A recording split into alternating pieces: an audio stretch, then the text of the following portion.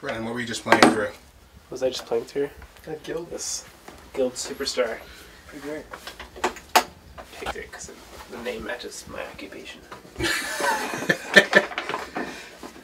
felt like with the last record, we kind of finally got into this place where we, you know, kind of figured out what kind of band we were.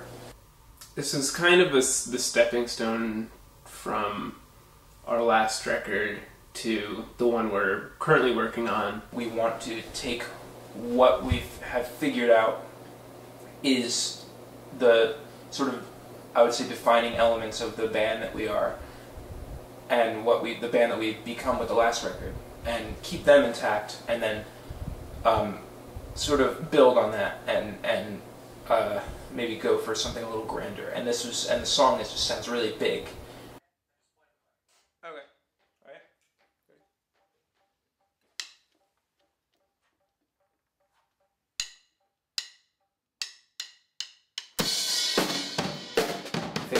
Process of coming together and figuring out our individual parts um, was different than we've ever done it.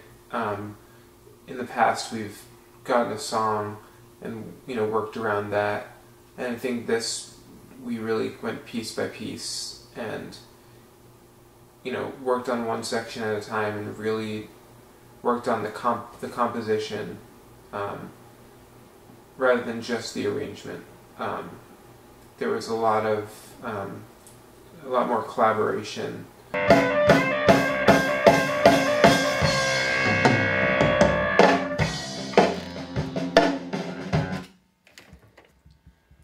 one's pretty fun in a broken kind of way. You want to listen to it? I'd written the main like acoustic riff. We were at a children's hospital.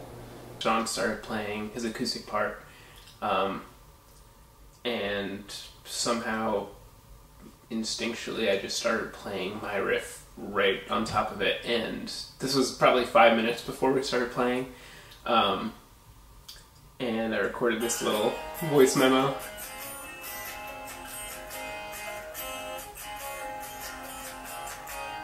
And probably for about eight or nine months, I begged Sean to write this song because that part was just stuck in my head all the time. This has been one of those tracks that we've kind of had hidden away. We really didn't know what to do with it.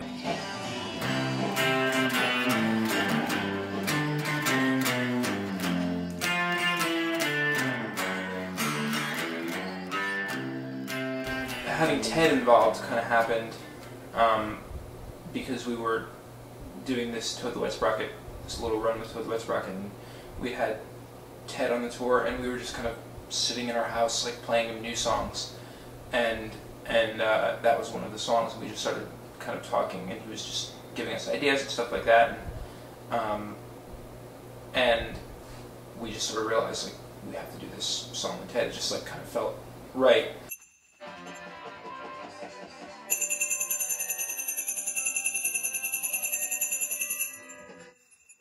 The bridge kind of had this had like banjos in it and mandolins and 12 strings and stuff and it was just like really like kind of grandiose like Brian Wilson chamber pop kind of thing happening.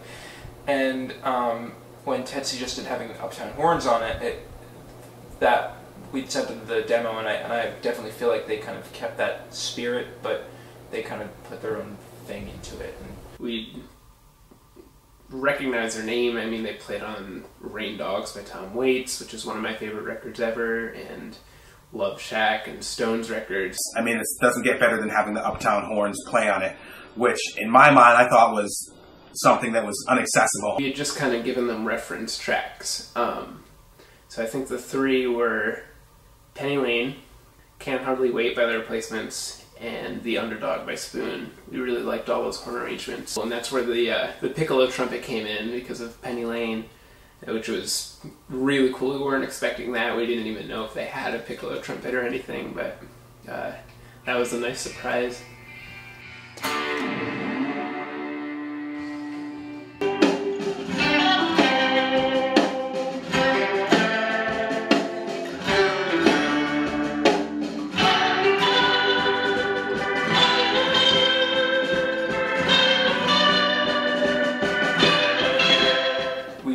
Had um, some ideas in mind for people to mix it, and we knew we, we really wanted to get somebody, you know, with a track record and somebody whose work we admired. And Jim Scott was like somebody that we were like, oh yeah, that'd be that'd be really nice if we had Jim Scott.